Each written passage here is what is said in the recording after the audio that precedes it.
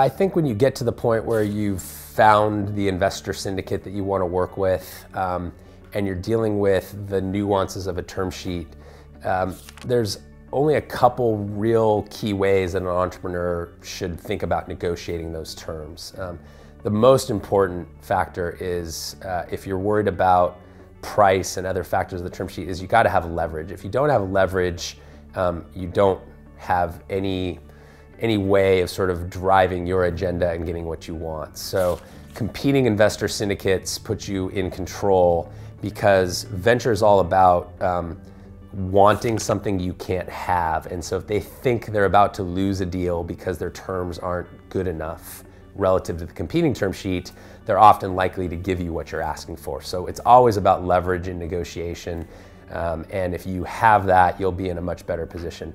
The, the second point though is if you don't have that leverage is be reasonable. Um, again, this is about a partnership with this investor group. And so to get, uh, to get sideways with them in the negotiation of these terms is a big turnoff and it starts the relationship on the wrong foot. So you need to understand their wants and needs and what they're trying to accomplish with their fund and how they deploy the capital. Um, and you have to balance that against your goals and what you're trying to achieve. And if you can see it from their side, um, it's often a lot easier to find the middle ground.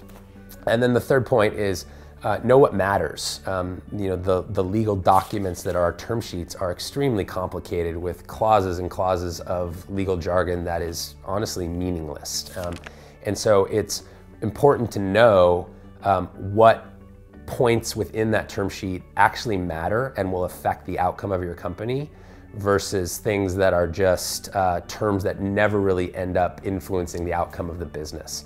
So it's only fighting for what matters and knowing what those topics are. So again, to negotiate a term sheet with a venture guy, you gotta have some leverage. That leads to a better outcome for you and your, your founding partners. Um, be reasonable in how you approach, understand their perspective on things, and then know what's worth fighting for.